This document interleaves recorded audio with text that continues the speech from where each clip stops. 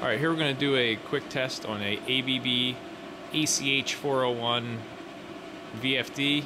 This is a 100 horsepower model. Um, we're going to test it with a 25 horsepower air compressor. Uh, it's just the biggest motor we have laying around right now. Um, so it'll put a little bit of a load on it.